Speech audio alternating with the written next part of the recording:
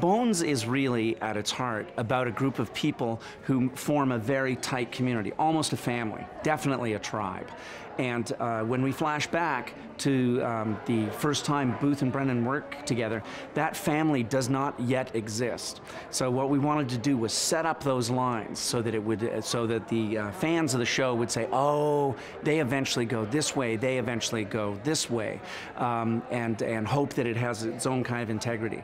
But the you know uh, they are far they are far apart in the um, uh, flashback episode in the first case ever, they're all pretty far apart from each other. And I hope by the end of it, you think it's going to take a year, but these people will get together again. The 100th episode um, occurs when Sweets um, runs his book that he's been writing on Booth and Brennan uh, by them. Um, and they come in to tell him that he is mistaken about a very important point. Um, and uh, to, in order to explain to him what they have to explain to him, they have to go through their first case together. That happened about a year before the pilot. And when we did the pilot, the idea was let's not go through the whole rigmarole of them meeting each other and feeling each other out. They know each other, they have opinions about each other, there's a lot of conflict, and off we'll go. And there's a reference, a very fast reference in the pilot to a previous um, uh, case that we had to go back and see what I'd written in there and what made the uh, not only what I'd written but what made the final cut on the pilot and what we knew. And we knew a few things. We knew that she thought he was um, arrogant that he didn't much like her but admired her work.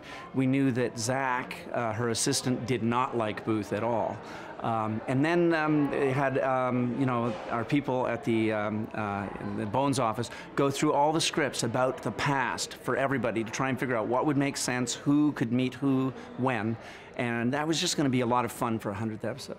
Because, you know, after five seasons, um, um, the, our, our uh, audience knows these characters. And if it's fun for us to see them meet for the first time or interact for the first time, um, then uh, we think it'd be fun for the audience. Zack is one of my favorite characters that I've ever created. He's, he's based on um, a very good friend of mine back home in Canada, a physicist. He's played by a pretty good friend of mine. Should I go like that? Uh, he's played by a pretty good friend of mine, Eric Millegan. I, I, I, love the character, and it's really, it was really fun to have him uh, come back and interact with the original version of Brennan. The two, Zack and, and Brennan interacting a year before the pilot is, it's like watching robots converse. It's really, it's fun.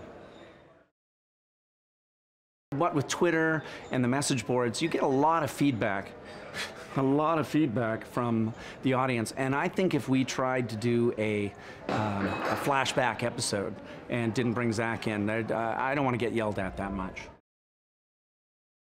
I've always said that Hodgins and Angela belong together.